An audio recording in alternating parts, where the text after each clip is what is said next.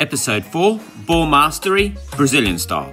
We've been building up the series showcasing the basics to ball mastery. Now, let's introduce the signature move of Ronaldo, R9, the side roll step over combo. But first, let's learn the step over. Begin by standing behind the ball. Then, the inside of our foot goes around the outside of the ball like a fake step or pass, and then repeat. Once comfortable, add a dynamic fast feet element and then we take it to the next level. Begin by rolling the ball across the body and with the opposite foot we stop it. We add a double step over and reset with fast feet and repeat. Let's do the Ronaldo roll on the spot.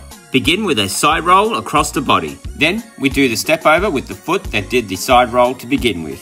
Focus on getting that snap roll across the body and sell the step over. Then take it outside and complete the Ronaldo roll.